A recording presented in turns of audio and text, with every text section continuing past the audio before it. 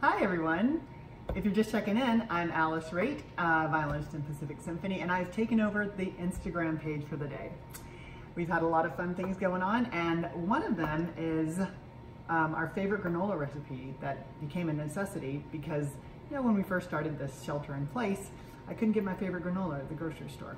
So Ella found a great recipe that's super fast. Do you want to tell us about it? Yeah, so I found this awesome recipe from a blog called Cookie and Kate.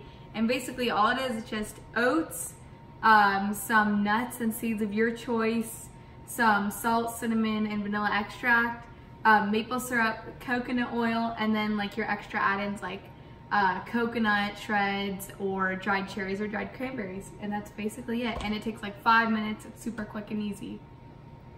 Great.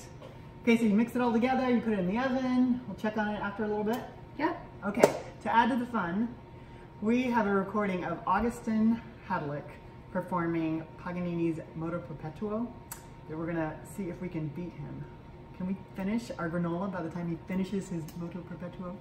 I don't know if you guys remember, but he performed with uh, Pacific Symphony just a couple months ago and he played Paganini's uh, Violin Concerto number one and he's so amazing. So I'm excited to try to beat him. Thanks.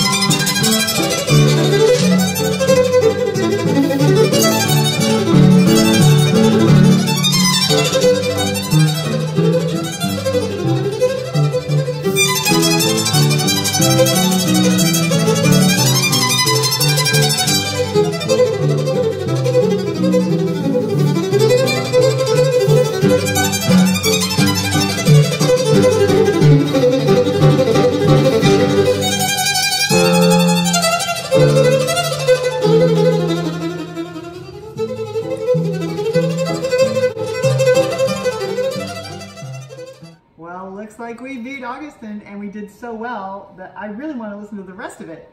So I'm going to um, post a link to that video um, underneath our post. Thanks for joining us. Look at how great this looks. It's so easy. You got to try it at home. Thanks.